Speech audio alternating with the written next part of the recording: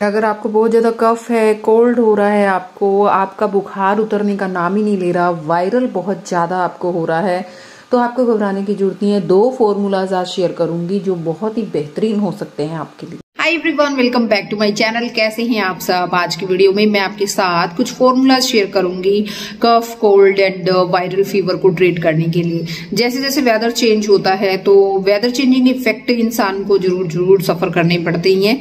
और स्पेशली उन लोगों को जल्दी ये प्रॉब्लम होती है जिनकी इम्यूनिटी वीक होती है। तो जो मैं फॉर्मूला शेयर करने वाली हूँ, एक तो आपके कफ कोल्ड एंड फीवर को ट्रीट करेंगे साथ साथ आपकी इम्यूनिटी को भी स्ट्रॉन्ग बनाने वाले हैं। तो चलो बढ़ते हैं वीडियो में, आगे की तरफ़ देख लेते हैं क्या फॉर्मूलाज हैं कैसे बनाना है, कैसे फॉलो करना है चैनल पर नए हैं तो प्लीज़ प्लीज़ सब्सक्राइब कर दीजिए। बेल आइकन प्रेस करिए ताकि सारे लेटेस्ट वीडियो की अपडेट आपको सबसे पहले मिल सके। फ़र्स्ट फॉर्मूला जो मैं शेयर कर रही हूँ, उसको बनाने के लिए हमें चाहिए दालचीनी, यानी कि सिनमन स्टिक अगर आपके पास दालचीनी का पाउडर है तो वो ले लीजिएगा। लौंग ले रही हूँ, ये बहुत अच्छा है। नेक्स्ट मुलेठी ले रही हूँ मैं। लिकोराइस पाउडर भी बोलते हैं इसको। लिकोराइस स्टिक ले रही हूँ मैं। एक्चुअली ये रूट है। आपके पास पाउडर अवेलेबल है तो वो ले लीजिए। मोटी इलायची, जो बड़ी इलायची होती है ना, वो लेनी है आपने। उसके दाने आपको मैं ये निकाल कर दिखा रही हूँ। इस तरीके के जो दाने होते हैं, बहुत ज़्यादा बेनिफिशियल होते हैं पुराने से पुराने बुखार, कफ कोल्ड को ठीक करने के लिए। तो ये जितने भी इंग्रेडिएंट मैं आपको दिखा रही हूँ, ये सारे के सारे मैंने यहाँ पर एक प्लेट में ले लिए हैं। दो लौंग लिए हैं, जो कि काढ़े को बनाने के लिए फ़र्स्ट फॉर्मूले को बनाने के लिए। और जो मुलेठी थी, उसको मैंने तोड़ के, ये इस टुकड़े को तोड़ के मैंने जो है ना हाफ़ की, इससे हाफ़ क्वांटिटी में लिया है। और जो सिनमन है, उसका छोटा सा टुकड़ा लिया है और साथ में जो है एक मोटी इलायची लेनी है। तो एक कप पानी जो है गैस पर मैंने रख दिया है पैन में डालकर और इसके अंदर ये सारे के सारे इंग्रेडिएंट आपने डाल देने हैं। आपने जो है एक टाइम का काढ़ा बनाना है ये एक टाइम का फॉर्मूला रेडी करना है तो उस हिसाब से मैंने सभी चीज़ों की क्वांटिटी ली है।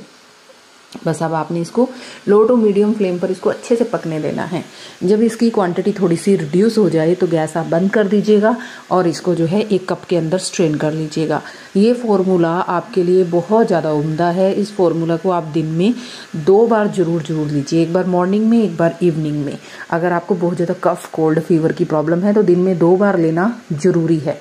तो जैसे मर्ज़ी ले सकते हो, आप थोड़ा सा हनी भी ऐड कर सकते हो इट्स योर चॉइस सेकेंड फॉर्मूले को बनाने के लिए हमें चाहिए अदरक, यानी कि जिंजर जिंजर जो है ना, ये पुराने से पुराने बुखार को ठीक करने के लिए, कफ को ठीक करने के लिए बेनिफिशियल माना जाता है।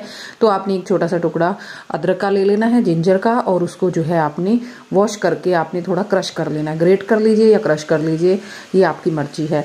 तो एक कप पानी पैन में डालिए और पैन को रख दीजिए गैस पर, और ये जो क्रश्ड अदरक है क्रश्ड जिंजर है, इसको इसमें डाल दीजिए और वन पिंच इसके अंदर आपने जो है काली मिर्च का पाउडर डालना है और इसको एक उबाल आए तो उसके बाद आपने इसके अंदर थोड़ा सा गुड़ मिला देना है। गुड़ जो है ना, इस फॉर्मूले का बहुत ही मेन इंग्रेडिएंट है। गुड़ पुरानी से पुरानी कफ को बाहर निकालता है।